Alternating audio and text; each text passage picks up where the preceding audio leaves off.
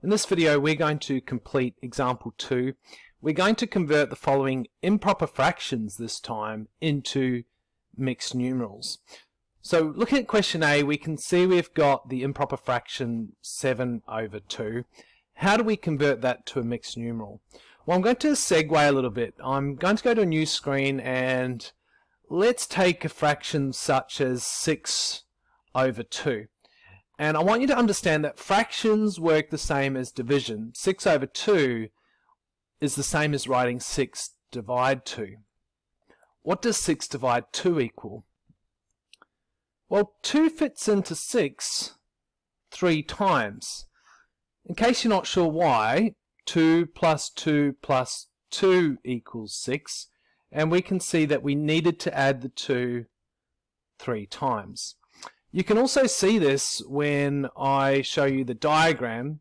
You will notice that each circle has been cut into two pieces and I've colored in one, two, three, four, five, six of these sections. We can see that 6 over 2 is the same as the whole number 3. What if we had a fraction such as 9 over 2? I, I know I can rewrite it using 9 divide 2. The problem is 2 doesn't really fit into 9. I, I know I can fit it in 4 times because 2 plus 2 plus 2 plus 2, if I add the 2 4 times, I get 8. Okay, but I wanted to get 9. I was 1 short. And some of you might remember you have a thing which is called a remainder. So we say that 2 fits into 9 four times, but with a remainder of 1, because I was 1 short of the 9. Now we're going to apply this to example 2.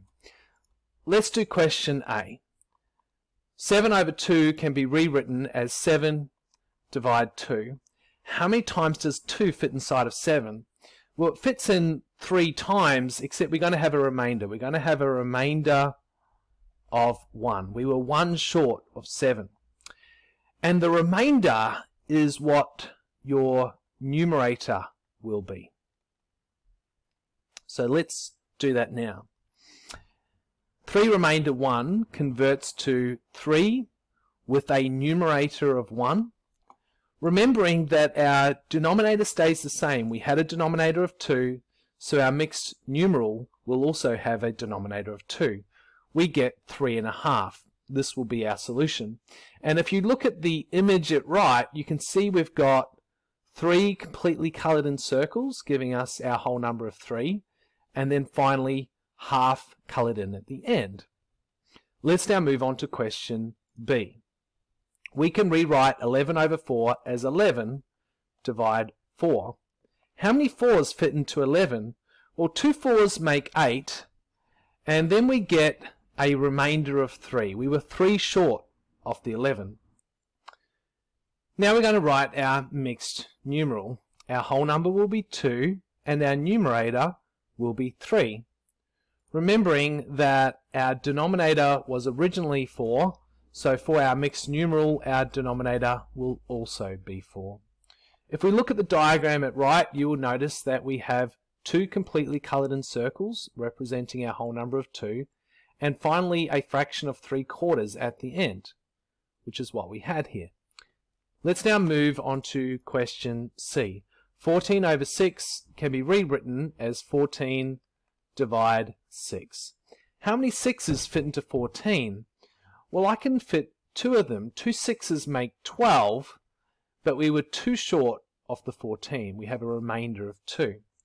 Our mixed numeral will have a whole number of 2 and a numerator of 2 as well. Remembering that our improper fraction had a denominator of 6, so our mixed numeral will also have a denominator of 6. We can see that in the diagram at right, we've got two completely coloured in circles, giving our whole number of 2, and 2 sixths of a fraction at the end. Now we would also like to simplify our fraction when possible, and we can do that for question C we can half the fraction 2 over 6 and make 1 over 3. Anyway, that concludes example 2. Remember to read the description below for links to workbooklets that relate to this video.